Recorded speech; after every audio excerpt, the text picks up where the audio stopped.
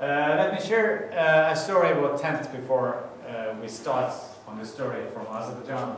I told you this is this is uh, Tents Global. It was made when we started tent 10 years ago. And it's a flame because uh, tent in Norwegian means being on fire. And then it's a tent, so it's a play of words. And uh, why did we start tent? Uh, why did we go into tent making and tent making, recruiting tent makers?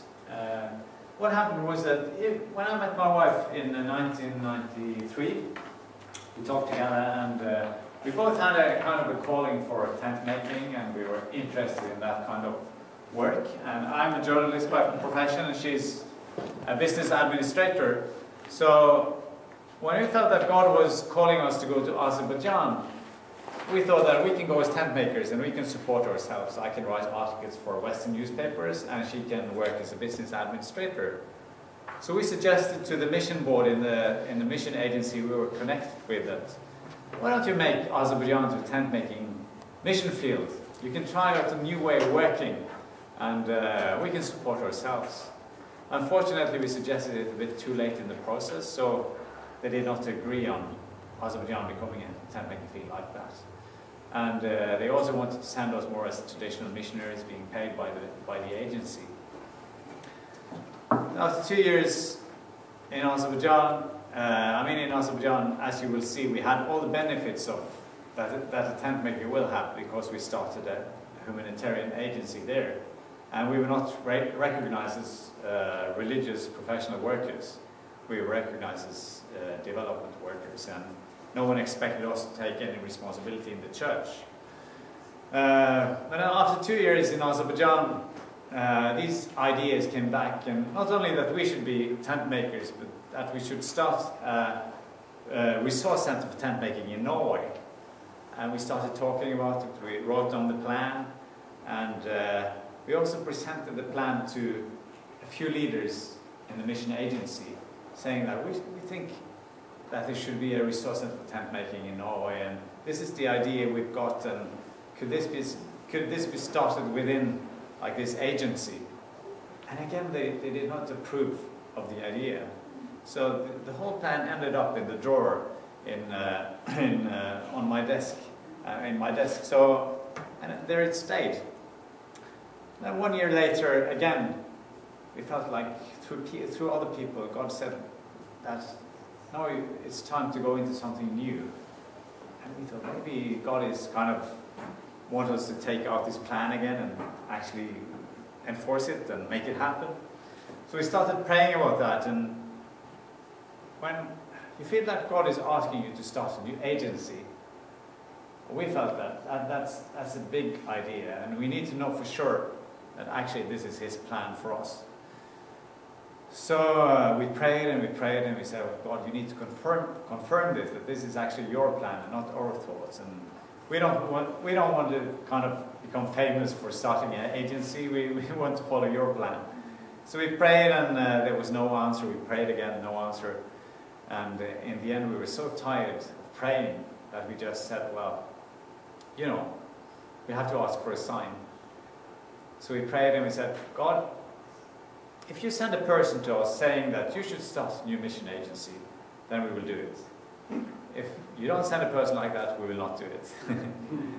and we knew, I mean, we had informed like two, three people in, uh, in uh, like the leaders in the organization we worked for. And then Birgit and I, we talked, talked about this just between the two of us. So there were like five people in the world knowing about this idea. So God could basically, basically send anyone. Then on uh, um, February 29, 2000, uh, we woke up early in the morning and uh, my wife, she said, you know, I have such a strange feeling inside today. It's like something good is going to happen and uh, maybe we'll have some guests coming over. I'm sure this will be a very good day. And then I went to my work in a microfinance institution and uh, she had her quiet time. She was reading from the Bible, from the Psalms. And she said it was like a few words stood up. It's, it's like, answer us the day we, we shout to you. And uh, she thought, well, today we will receive the answer on our prayer. I came back from work and uh, this is how my family looked, what it looked like when we, we were down there. Eric, he was five years old. Trygve was three, and this is Sigrid. She was one year old at that time. And I came back from work, and we sat down around the table to, to, to eat dinner. And as we're sitting down, Eric, who was five years at that time, he says,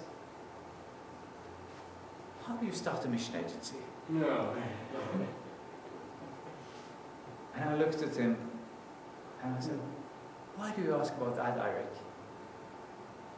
And then he says, I think you should start a mission agency. Five year old.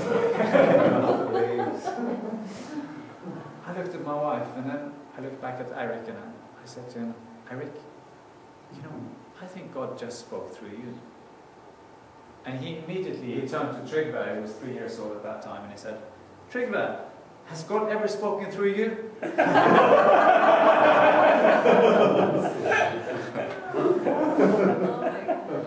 so that was kind of God answering our prayer there and then through our own son. And, uh, you know, when things like this happen, then this was immediately attacked by God's enemy. And we, we, we, we, I told my wife, I said to my wife, should it be an adult coming saying to us, can we believe this? It's to our own child. and uh, but then in the end, we, we had to realize that actually we, we asked for a sign, and God gave the sign to us, so we have to do it. Otherwise, we're unfaithful. Of course, this whole incident, it, it, it impacted Eric tremendously. So uh, after uh, a few days later, I was driving him back from nursery in, in our Lada, and uh, he was sitting in the back of the car. And then he says, uh, Daddy, am I a prophet? That's a good question, isn't am I a prophet? so that was the starting point. Then we came uh, back to Norway on a vacation. Uh, and as you know, Norwegians, we have a lot of vacations. So we came back on a vacation in May, uh, and we planned to kind of start, that was our plan, to, to kind of connect with the tent making people in Norway who were already there, and then just start tent and go back to uh, Azerbaijan as tent makers. That was our. Uh, so we connected with uh, Berit, who is a friend of Ari, and uh, she's been the tent maker promoter in Norway for many, many years. A sole voice for tent making. And uh, she's a very, very busy woman. We called to her, uh, and uh, it was my wife calling to her, saying that, you know, we feel God is, that God is call, calling us to start uh, Resource Center for Tent Making in Norway. And uh, what do you think about that? And then everything went quiet in the other end of the phone line there. It's like, my wife said, well, I, maybe this was not a good idea. But then Berit said, you know, uh, it's quiet here because I'm crying. And uh, then she told that the day before she'd been to a meeting and she had been preaching and uh, she got very negative feedback from a woman. So on the way back she told God, she just said, I I'm, I'm not going to do this anymore. I'm quitting this ministry. And, uh, and then now uh, we came there the day after and saying that we, we actually get to kind of work with you or take over what you're doing. And uh, there had been many, many uh, other people also kind of giving her words from God that now is the time for you to hand this work off to someone else, and then we came So we're actually writing down that story in a book that will be published uh, later on, sometime. yes.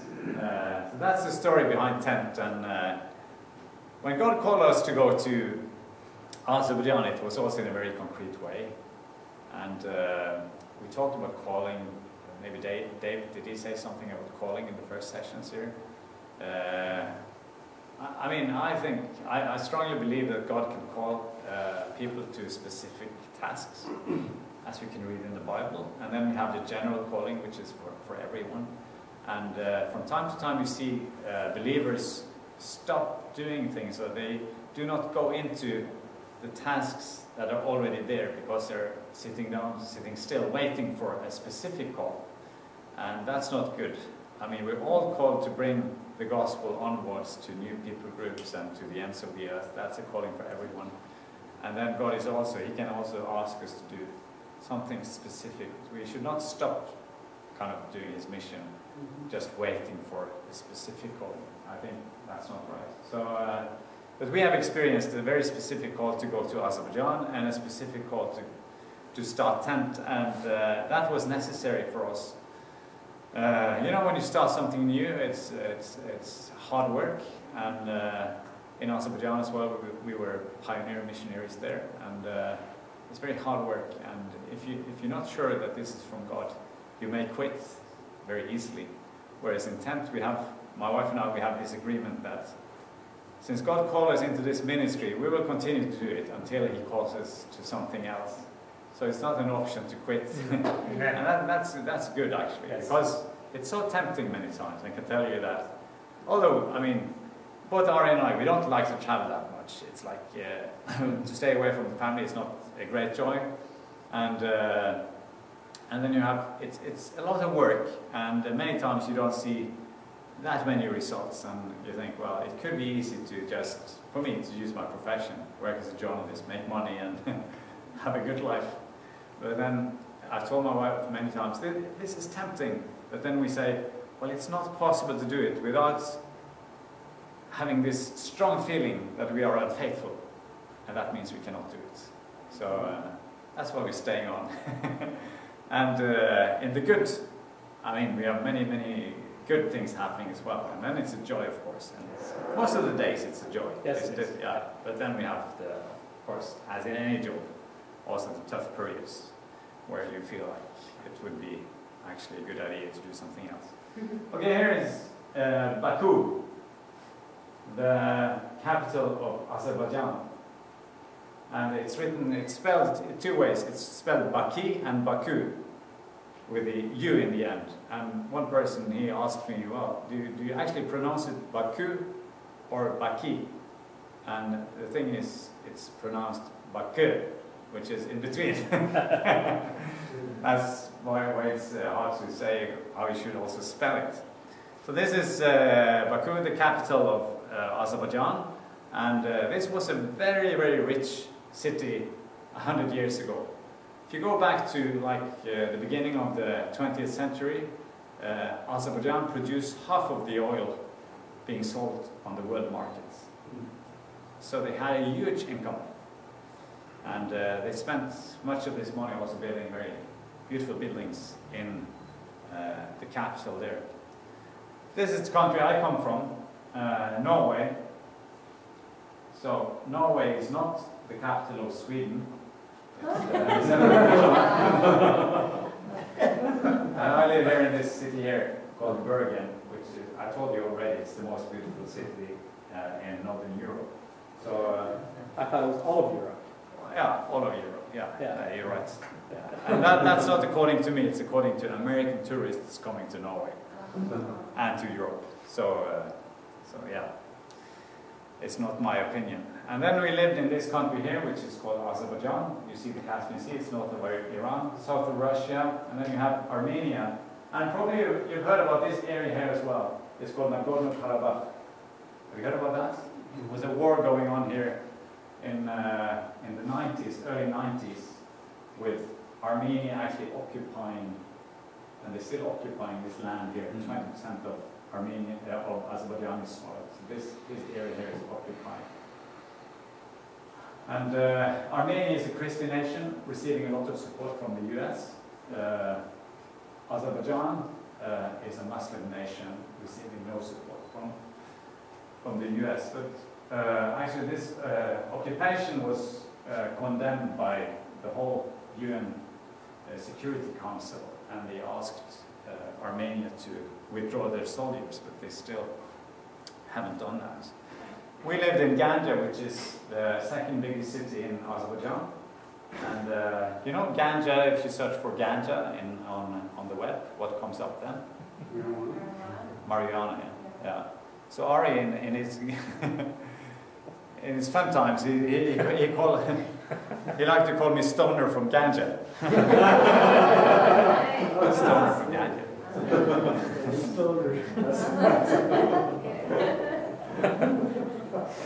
Is that a code word?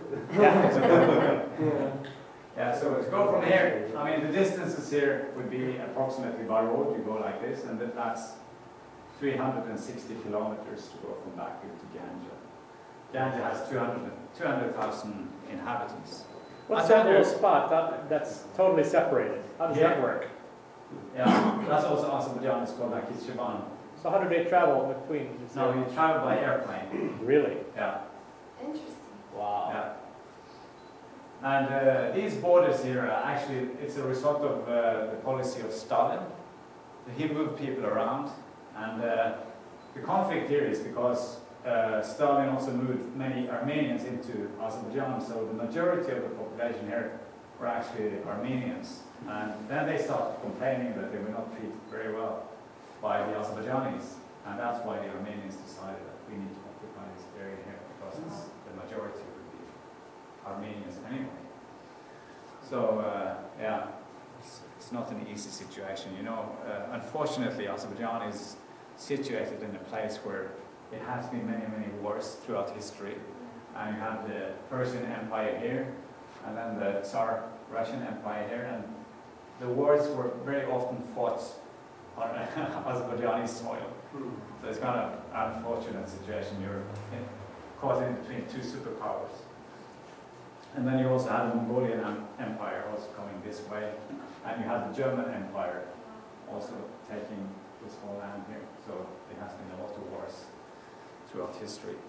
As I told you, in Azerbaijan they drive two, two kinds of cars, and uh, I hope the video will work this time because it's about the future, and my wife and I are going back to Azerbaijan a few years from now, as you will see.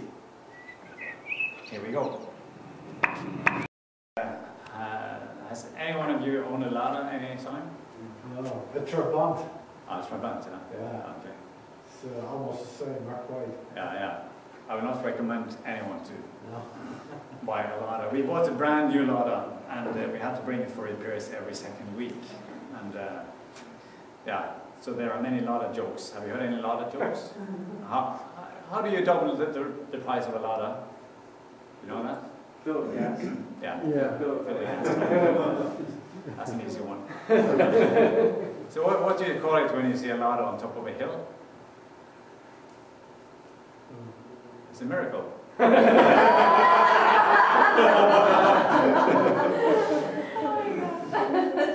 And uh, why do the Ladas have uh, heated back windows? Fire. No, it's because when you push the car, you, you're... Oh, your hands are warm. It's gonna get warm. Okay, there are many, many Lada jokes. Some facts about Azerbaijan. It's a former Soviet republic. It got its independence in 1991. It has huge oil reserves in the Caspian Sea. And uh, there are uh, many foreign companies helping Azerbaijan to produce that oil. It has enormous corruption. And uh, we lived there for four years, and uh, there is a company called, uh, uh, or a, an organization called Transparency International, monitoring uh, corruption in the different nations. And Azerbaijan was always among the top three nations when we lived there. It has, the situation became a bit better when we moved back to Norway. I don't know why. so now they are like top 10 uh, when it comes to the worst nation nations. And uh, we've seen like uh, first-hand, got first-hand uh, information on how uh, corruption can destroy a nation. It's really, it's very, very sad. I mean, even at the first, first uh, grade at school, to be able to allow to continue uh, the school, the parents would have to pay the teacher.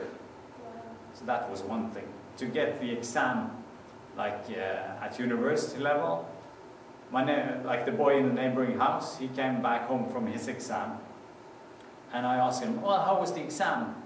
And he said, "Well, it was good. I only had to pay fifty dollars." And I said, was that all they asked you about, like $50 and uh, no other questions about the subject? And he said, no. It was only one question. It was, they wanted $50. and that's the exam. And then you get the paper that you can actually do something. I mean, would you like to be operated by a medical doctor who's got his exam papers by paying bribes like that. Not at all. And we saw people dying when they were operated because doctors obviously didn't know what they were doing. Uh, then, then, then you had the police. To, to get a job in the police, like the street police, uh, traffic police, uh, the cost of a job there was 5,000 US dollars you had to pay to like a superior. And then you got the uniform. And how did you get the money back? Well, you had to stop the cars and asking the drivers to pay. pay. Like you didn't do any mistake in traffic. You were just stopped by the police and then you had to pay to continue. So that was part of the corruption. And my wife and I, we decided, well, we can, we can just use the system. So when we come back from Azerbaijan, we will be the best and most educated uh, couple in the Norwegian history. We will have PhDs, both of us, two subjects, but it never happened. Enormous corruption. Eight million people living in uh, Azerbaijan, 99% are Muslims, and the majority of the Azerbaijani people group, because the people group is much bigger than 8 million, it's actually around 25 million people. And the majority, they live in uh, northern Iran. So uh, this is all Azerbaijani kind of, uh, the majority, uh, majority Azerbaijani area. And uh, that is also causing some political tensions there between Azerbaijan and Iran. Our idea, uh, uh, it has not still been uh, fulfilled this plan, but uh, we have a plan to train Azerbaijani tent makers to bring the gospel to northern Iran because it's the same people group. And also for me as a Westerner, uh, as it is for any Westerner, you can get a one-year visa for Iran if you're lucky, whereas the Azerbaijanis, they can get a 10-year multiple entry visa they do business here across the border. And you know also, uh, Westerner will cause uh, kind of uh, attraction, and uh, is uh, Westerner is very, very visible, whereas an Azerbaijani looks like the other people there. So I think that's still a very good idea, and I hope it will happen sometime that we can train the Azerbaijanis to bring the gospel there to northern Iran. It's, it is taking place in some sense already, but I think we should be even more focused on, on that. Our ministry, we were in Azerbaijan from 1996 to 2000. We lived in the second largest city in the city, uh, second largest city in Azerbaijan. We started a microcredit program. Are you familiar with that term? Microfinance, microcredit. Yeah, I'll tell you more about that later on. We had a culture program, and uh, we worked on building relationships, and uh, then we were there to plant a church. And uh, we decided very early on through our organization that we, we would be quite high profile with what we did in Azerbaijan. And uh, yeah, that worked out quite well. Uh, yeah, I'll share more about that later. So microfinance or microcredit, what is that? It's giving loans to poor people so they can start or expand their businesses. Uh, we founded this operation in 1999 through, it was kind of partly private funding, but also governmental funding from Norway. So 80% came from governmental funds in Norway and 20% from private donations. Uh, this operation, or uh, the microfinance fund, was profitable already after one year because you charge interest on the, on the loans you give to the poor people. And uh, what do you think, if you want to help poor people, should you charge a high interest, or is that a good way of helping?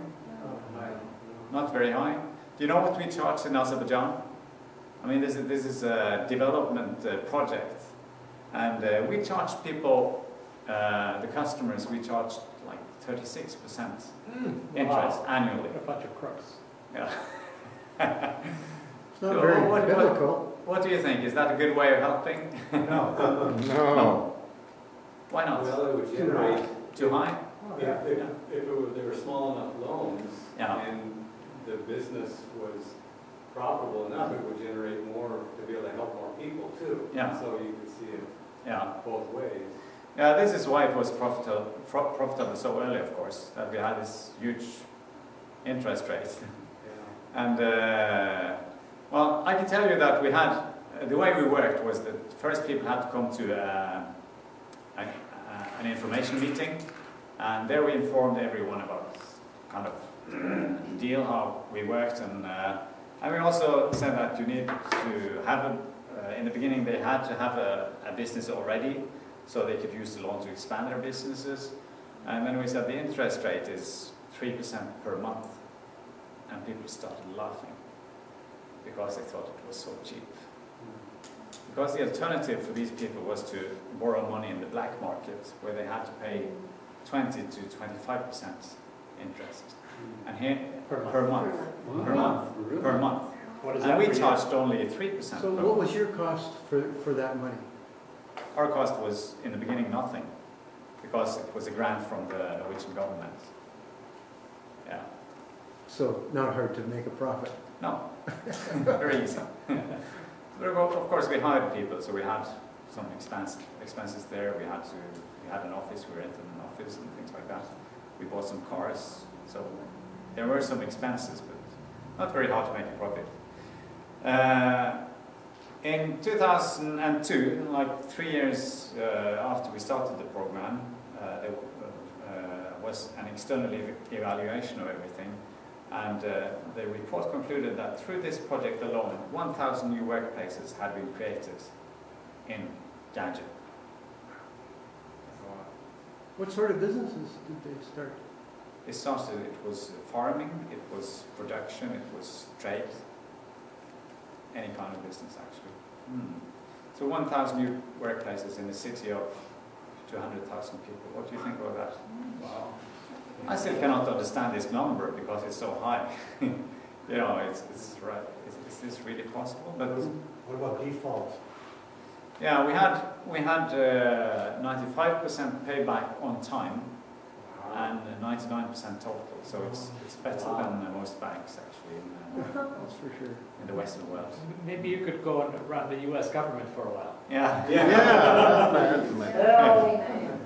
Could Yeah. you- I'm sorry, guys. That was for Dave's benefit, but he didn't hear it, so. But then already after three years, you can see the project impacting the whole city in some sense because so many new workplaces were created. And uh, I have to tell you that because the first loan in a, in, a, in a project like this, the first loan that people can get is usually like between 50 and uh, 500 US dollars. It's not very much. So uh, what can you do with $50 or $100? or two hundred dollars. Uh, not very much. And when we informed the, city government or, uh, of our plans, and we talked with the mayor in uh, in uh, Ganja, he just said that we don't need any project like this because we need someone starting big businesses, not kind of someone giving loans of 50, 100, 200 US dollars. So he said we don't need it, but we will allow you to start anyway. After a while, of course, he saw the value of the project. So he, I think he was quite surprised that it, this worked so well. And uh, today, the project has itself approximately 50 employees. It has branches in three cities, so, so it, it works more and more like an own bank. And it has more than 12,000 customers. And uh, it has, it, two years ago, it was rated among the top microcredit funds in the world. Isn't that amazing? Yes. yeah. So uh, it has a great impact. Now, here are some common customers. Ulvi, as an Azerbaijani name, milk production. We had customers, quite many customers, borrowing money to buy a cow. And uh, a cow in Azerbaijan at that time, the cost of a cow was around 400 US dollars. Wow. And uh, then just by selling the milk, they were able to pay back the loan in six to seven months. And then after they paid back the first loan, they could get the second loan, which was twice as big as the first one.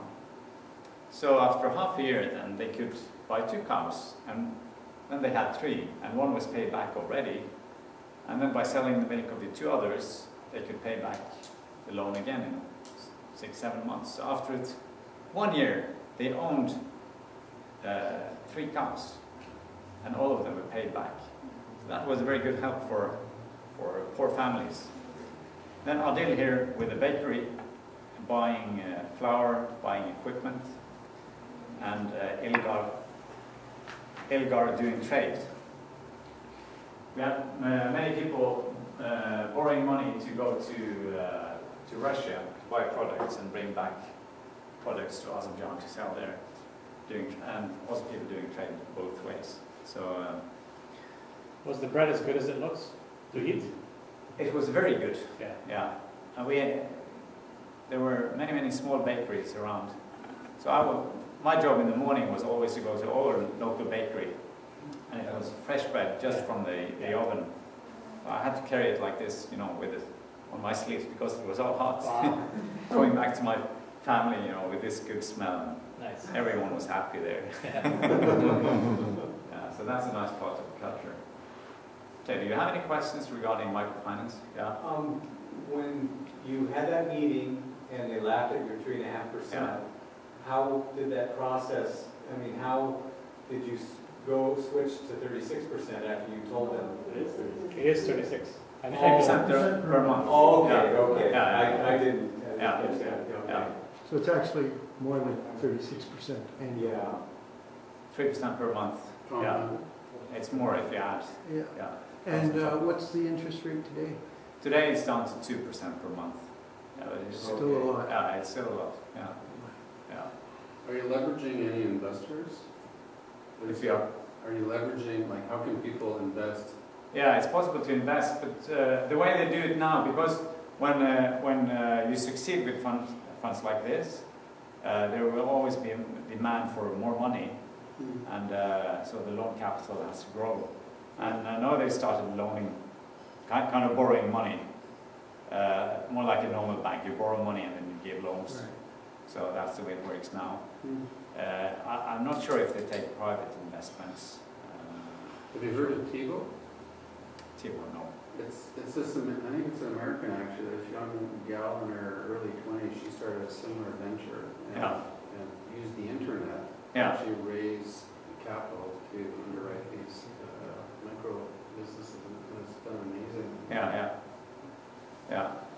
We've also started in Norway now. Uh, I was one of the founders there, uh, resource, no, not a resource center, but more like a resource center for microfinance. Hmm. And uh, so that center again is starting a new fund now in Burundi, in Africa, in this fall. Hmm.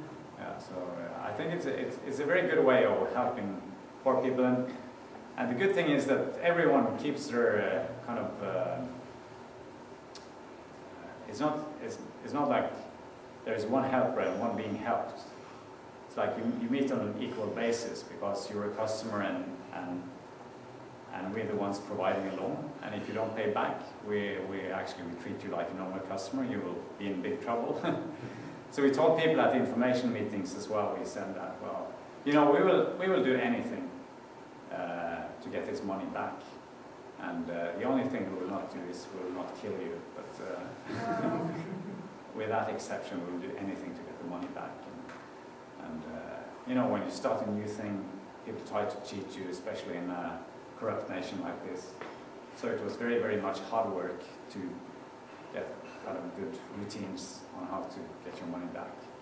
Yeah. Now, with this, I don't see any, uh, like, uh, where did ministry come into this? Ministry come into this. Yes. Yeah, I think I think it is a ministry to, to, to help poor people to get out of, out of poverty. That's a ministry in itself. And then uh, later on, I'll talk about how this opened the doors for the gospel as well. Okay. Yeah. Then we had a culture program, uh, and we had cultural exchange between uh, Norway and Azerbaijan. Uh, so we had these paintings. They were famous, or famous. They were not that famous, but very good painters in Azerbaijan. Uh, so we brought their paintings to Norway for sale there, and then we brought Norwegian paintings to Azerbaijan.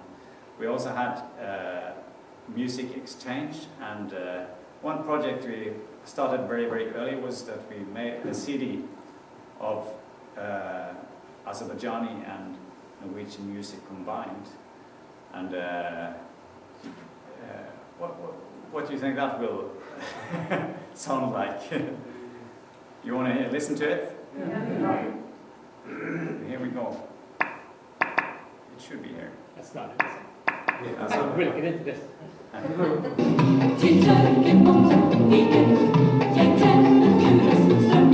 This is a Norwegian choir singing. And then we have Azerbaijani artists, actually the Azerbaijani musicians and an Azerbaijani artist starting to sing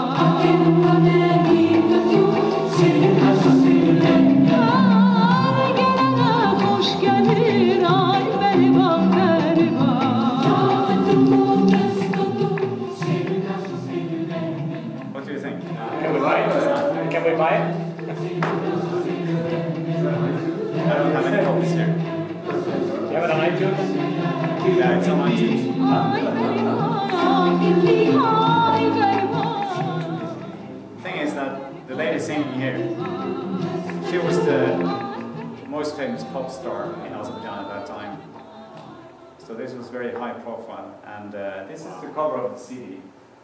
Uh, the, the, lady singing is this lady here, Br- Brilliant Dadasheva.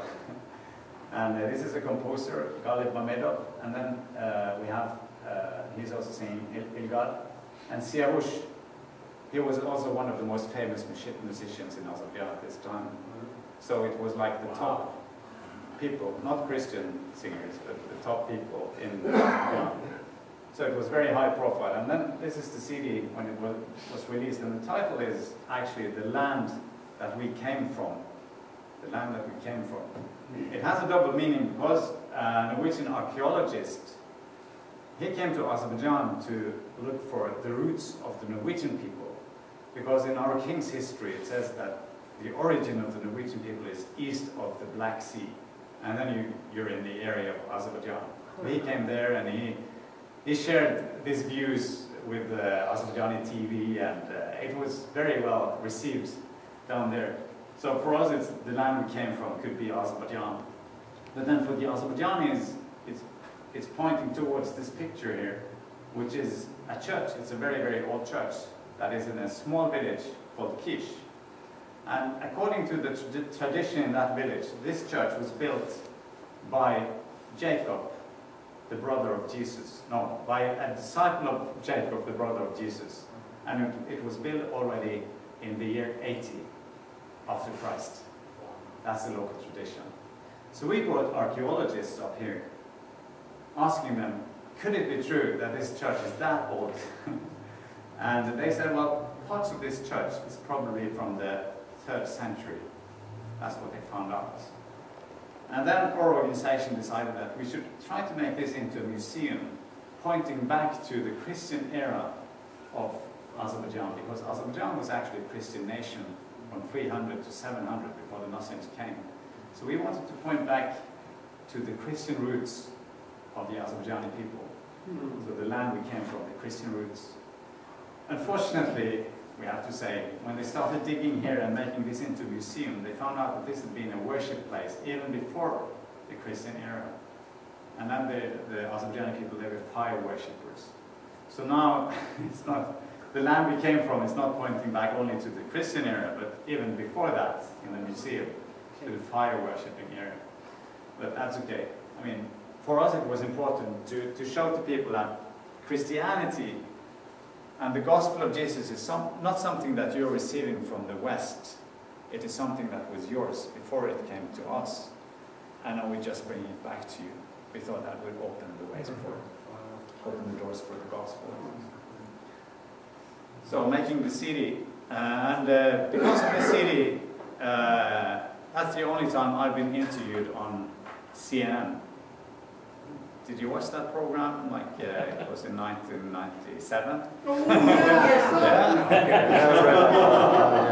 Don't tell us, you've got a clip of it.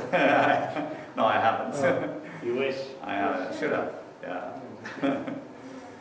then we had uh, concerts every month in Ganja with Ganja State Chamber Orchestra, which was a, an orchestra of professional musicians. And we sponsored this concert, one monthly concert, and uh, brought uh, like 200, 250 people together for the concerts. It was all for free for uh, everyone, everyone coming there. Funny thing is, because Azerbaijan being a Christian nation, you found many churches around, like in the cities as well. And uh, this chamber orchestra, they had their rehearsals and the concerts in an old Albanian church.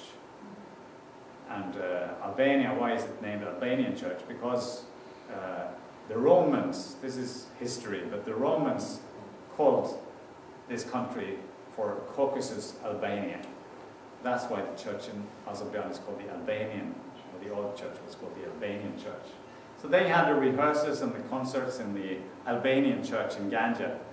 So we brought actually many, many people together in the church to have these concerts. and because we were the main sponsors of, of this uh, chamber orchestra, I was allowed to have an opening speech at each concert. And uh, at this time, uh, just after we came to Azerbaijan, uh, a new law was implied prohibiting foreigners for, from uh, sharing, like promoting religion uh, and uh, in, in public. So I thought, well, and we prayed many times, well, what can I say? we don't want to break the law. And uh, still, I, I'm going to speak in public here, and I want to share about Christ, and I want to share about God. So uh, what we decided is that, you know, we, we had Christmas concerts, we had Easter concerts, because this was in the church. and then uh, when people came together, I, I just, instead of sharing the gospel, I just told them about the history of the building. It was like, you know, this is Easter or this is Christmas, and we're here together to celebrate, uh, or to have a Christmas concert.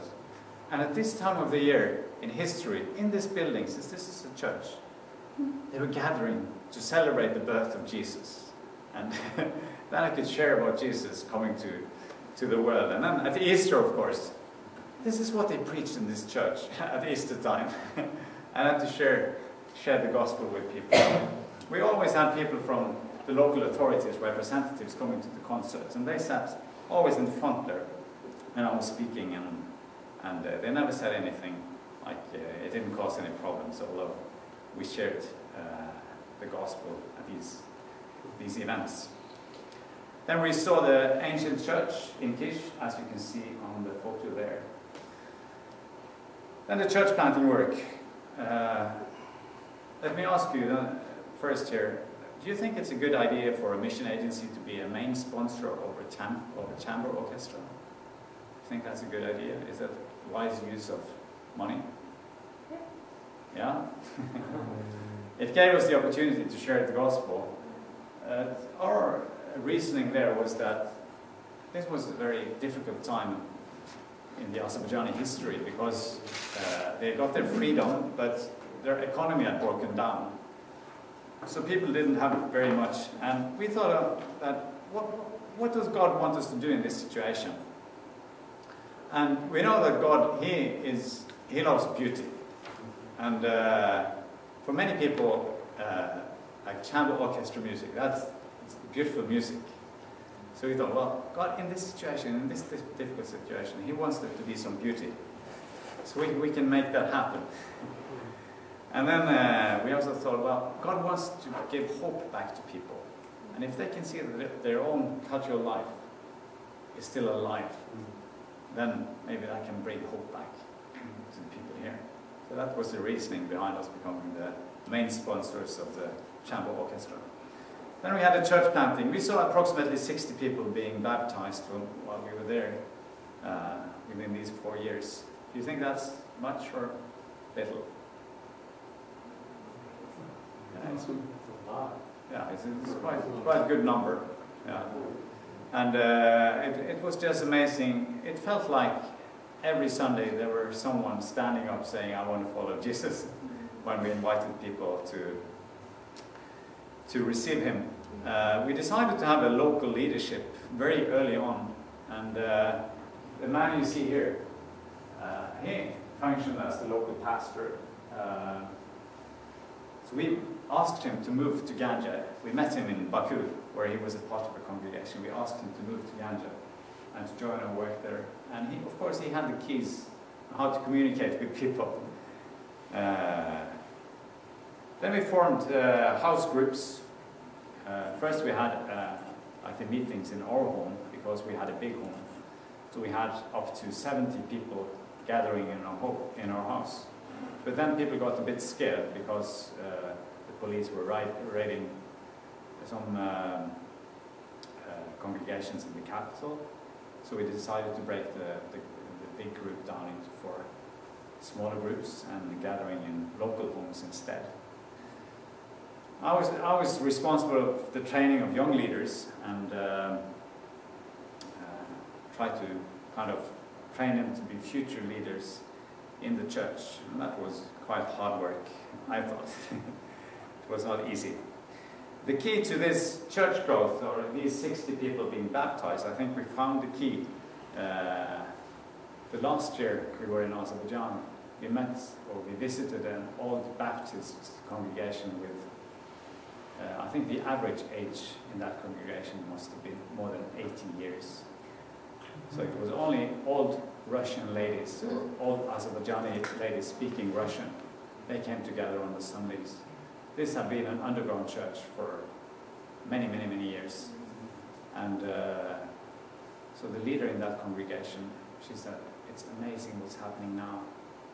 Uh, we've been praying for this city every day for 50 years. That people will, will meet Jesus.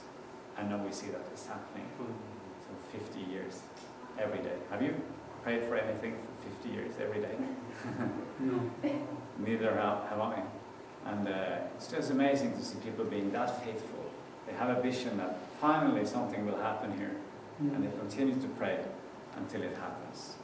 So I think we could actually uh, harvest what we had not sown. And uh, other people have done the groundwork before, before we came there. And uh, yeah, it, it, from time to time you feel like you're just watching what God is doing. It's like this is not a part of yourself.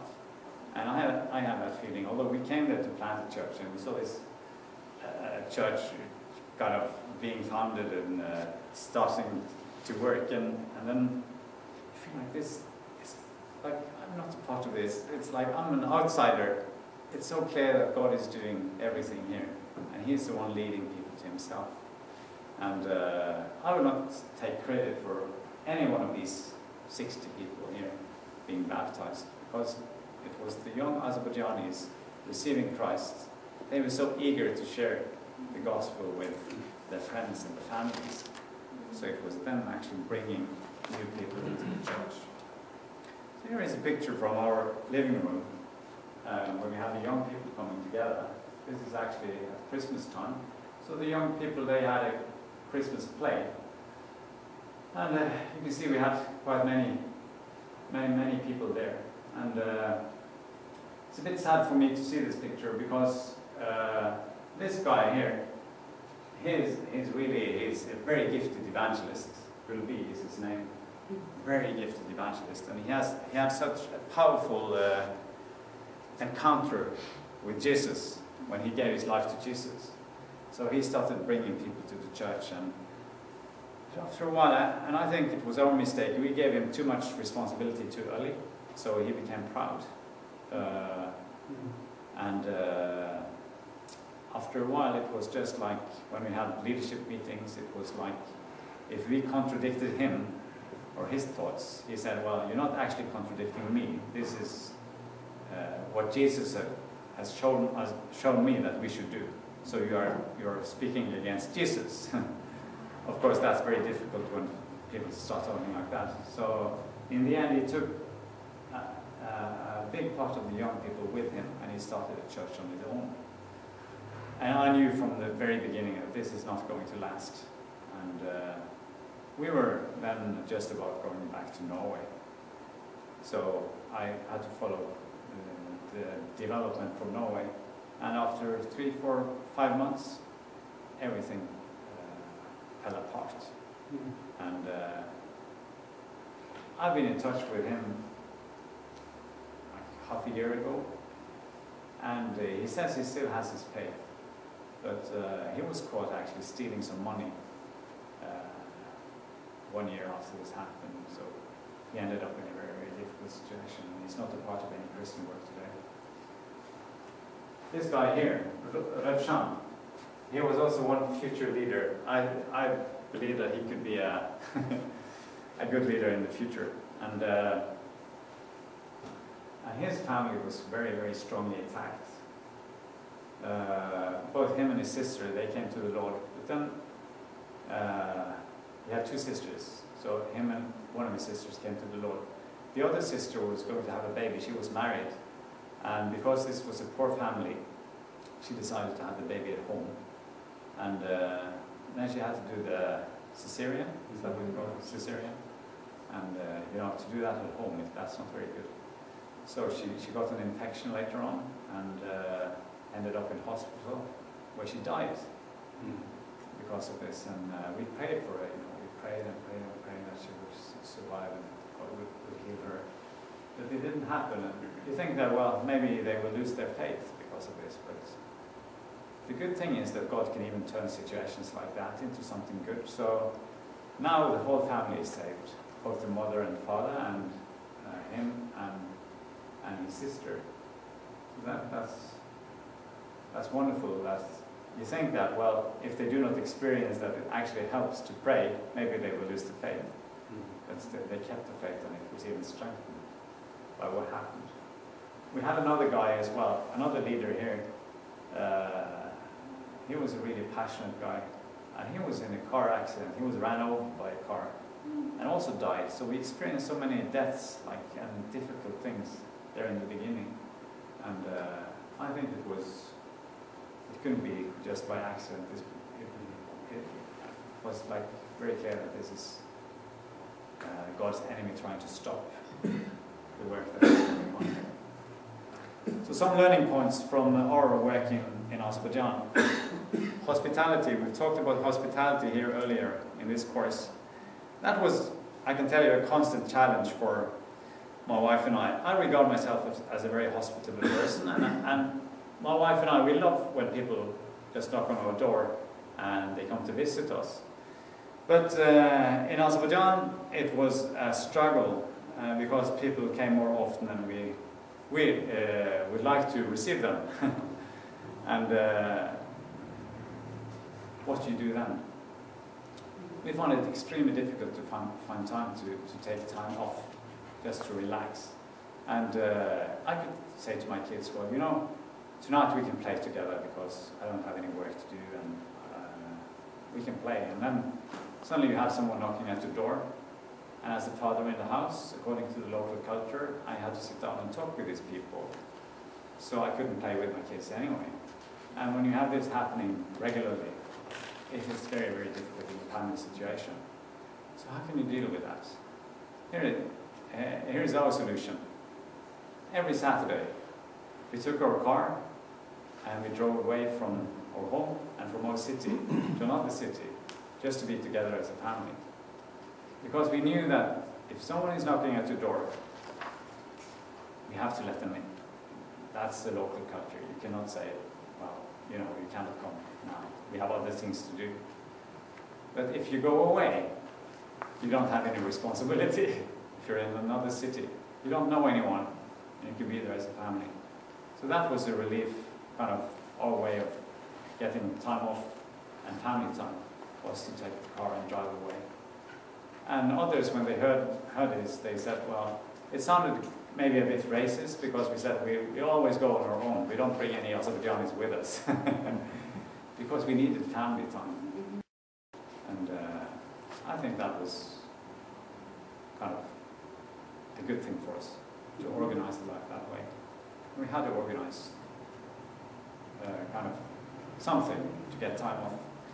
But then, you know, people interact with you in ways you don't want to, and, and uh, when you're in a hospitable culture, people want to help, help you more than you actually need help.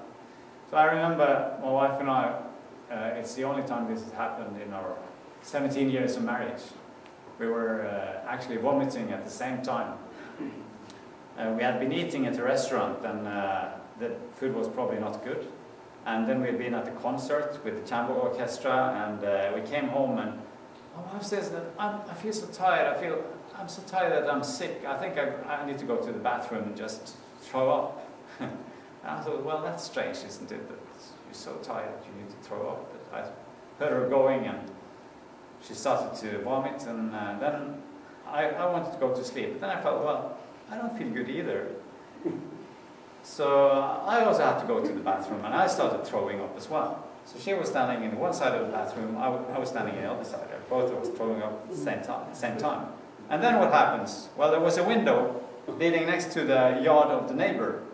So as we're throwing up, the neighbor is knocking at the window and he says, Ganshu is neighbor, uh, do you have any problems? And we said, no, no, we're okay. and he said, well, I can hear you have some problems. Uh, we will come over to help you. oh, no, thank you. Oh, yes, we will come. And then two minutes later, they're knocking at the door, at the gate. And I go to open, and it's like, uh, it's, a, it's a very difficult situation, but I know I had to let them in because they've come to help us. And then, you know, they have this milk with clumps, and it's like, sour milk. and he says, yeah, if you drink this, you will be better. And I thought, well, I cannot argue with him here. It's like, uh, I feel so weak. So I just took the, this glass of milk and I drank it. And I said, well, you know, I feel much better now. No, I think you can leave.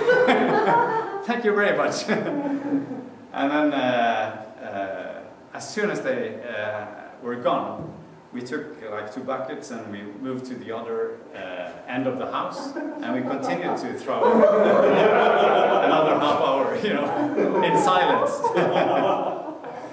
yeah, and I was so, you know, because of this hospitality, people coming, uh, what we did, we did one big mistake, and that's that people in Azerbaijan also they sleep in the middle of the day, uh, and all, they also let their kids sleep in the middle of the day. Whereas in Norway, uh, in our culture, we have what we call adult time in the evening. We put the kids to bed, and then we have time as adults just to talk. And we like that, you know. And it's like, okay, the kids are in bed, we can now be just you and I, and we can talk. so we decided that we will not let our kids sleep in the middle of the day, and we did also not sleep ourselves. And then you have guests coming over late at night, and you find yourself actually being very, very tired receiving your guests, and, and they stay as long as they want, of course. so, uh, you know, I've, one time I, I fell asleep talking to a friend. You know, I, I couldn't stay awake. So while he was talking to me, I fell asleep. Another time, I tried to stay awake, and uh, I, I realized, well, you know, I'm too tired to talk, so I let him talk. I, just, I just need to keep my eyes open here and, and try to follow what he's saying. And then uh, in the end, I, I, thought, well, I need some fresh air uh, to stay awake here. So I said, well, just a minute, I have to go outside a little bit. And I went out and took a deep breath, uh, being ready to go in again. And then on the way in, I, I just dropped by the kitchen and I leaned towards the wall just for like to relax a little bit.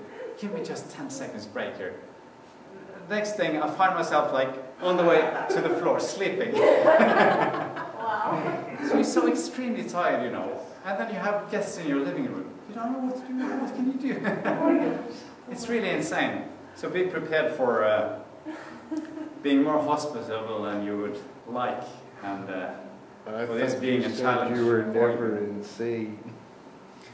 Okay, then uh, uh, also what was difficult for us was that we had more than one culture to relate to. We were prepared for meeting the Azerbaijani culture and, uh, and we made good friends with the Azerbaijanis, but we had huge struggles with our Norwegian teammates and their culture and uh, how they adapted to the local culture. So that was very, very, very tough.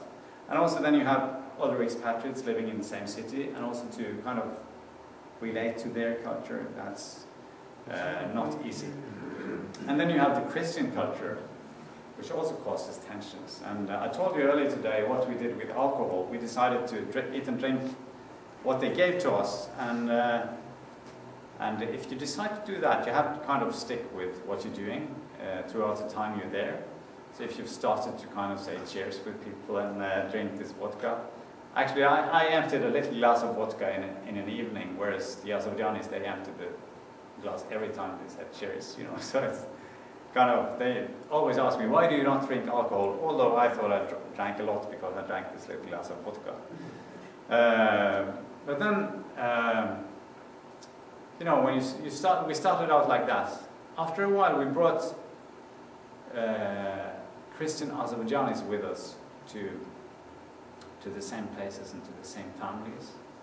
And uh, some of them came from a Baptist background where uh, the greatest, greatest sin you could commit was to drink alcohol.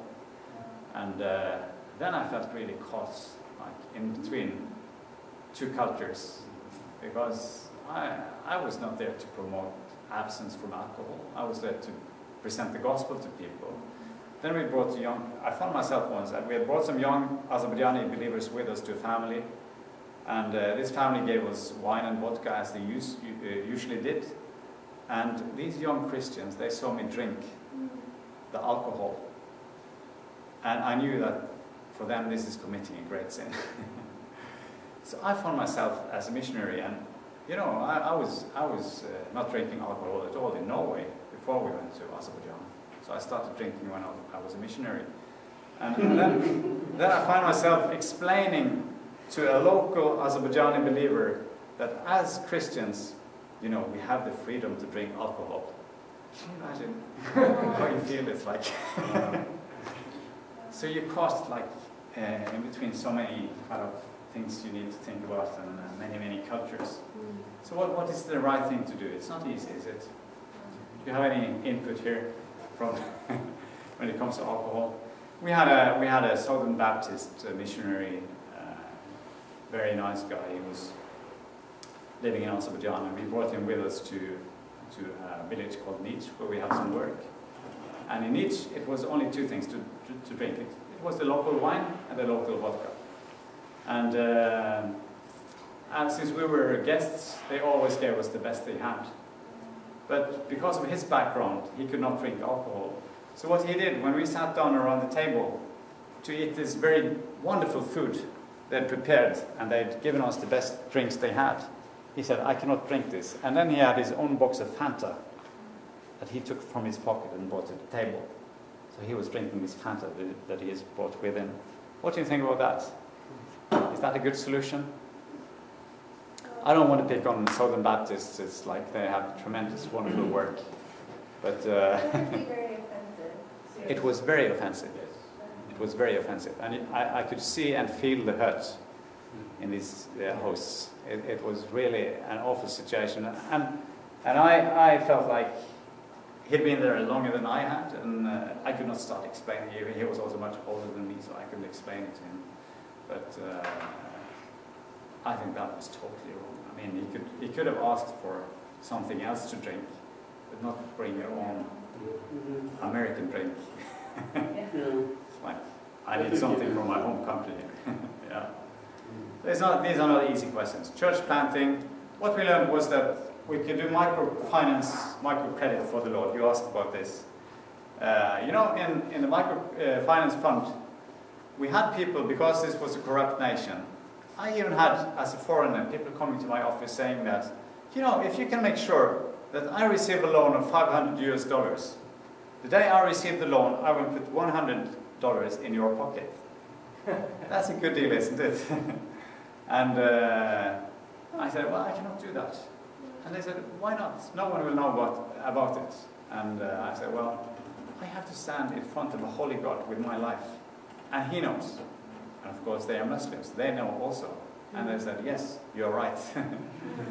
so we got this reputation that uh, they knew we were Christians and that in this uh, work you cannot cheat and you cannot pay bribes, you cannot pay money under the table. they treat everyone equally. So I think that was very important actually for as a pre-evangelistic work. Uh, also, we had people from the local bank coming to our bank to get a loan. I don't understand why. Why do you come here? and they said, you know, in our bank, if you receive a loan of 1,000 US dollars, or it's written 1,000 dollars in the contract, we only receive 800, and 200 is lost in the way. Mm-hmm. Whereas here, we receive the full amount, so it's a better deal. Did that cause any problems with the local, like, fake owners? No, no. They knew they were doing something, something wrong, you know. Uh, So we, we, were, we were known as people doing things the right way, and uh, we were Christians. I think that was a good testimony for people. So microcredit. Also, of course, we had customers. We could talk about faith with customers. So it opened the doors for us for sharing the gospel. Then we had the culture work. Uh, doing the culture work for the Lord. I told you that God wants beauty and He wants to give the hope back to people. And also through the culture work, we could share about, uh, about Jesus and about God's kingdom. And uh, one thing we know for sure, for sure is that in, in, in God's kingdom there will be music. So just to share that, that you know, we're here at the concert and uh, we will listen to beautiful music. And there is one thing you know for sure, this is created by God, and it will also be music in eternity. and God is restoring everything. That is also giving hope back to people. And then we did church planting for the Lord. So what we saw very clearly was that everything worked together for one uh, purpose. Yes, that's uh, our story. I have to tell you, like Ari said with his story, that I didn't share this story here until I had to do it. I was forced to do it in, here in Victoria five years ago. And uh, we felt like complete failures when we came back from Azerbaijan. It was like, uh, yeah, in the end, because we had these team problems and uh, struggles in the organization, we felt that the organization was actually very happy when we decided to quit. And uh, it's like, uh, we felt that the work was not kind of finished. We wanted, we wanted to continue to be there. We had uh, strong relationships that we had to break, and uh, it was just like, we felt like complete failures. So I, I didn't want to share this story with anyone. I said, there is no story. and, uh, and then Ari said, oh, I think you should share your story. And it was amazing that the first time I shared it here, uh, I had some people coming to me afterwards saying, well, this was actually a good testimony, and we can see that God was working through you. I said, well, is, is that possible? And, uh, and then when you retell the story, and now I can realize that actually God was doing something. But uh, the feelings we had at that time was all bad. And now we see, we see the same in so many tent makers because we interact with tent makers. And we see that even the tent makers that God is using in the most amazing way, they have this feeling that, well, the, I'm, I'm a failure, I'm not doing what I should. Is that protection against them becoming too proud? It could be, yeah, it could be. And it's also very difficult. I, it depends on your personality. Like my personality is that I tend to focus on unsolved things. So uh, it's I, kind of I don't have time to look back and see that things have happened here. and uh, and then if you always focus on the challenges, then you don't see the big picture. You just miss it, and you need to tell the story to other people and, and get feedback, and then you then you can see what is happening. And I think that's that's a big part of what we're doing is actually to, to listen to stories and give feedback uh, to encourage people because we can see from the outside that God is doing great things through people. Yeah. Hmm.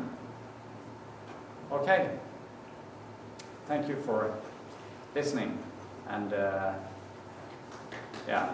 yeah.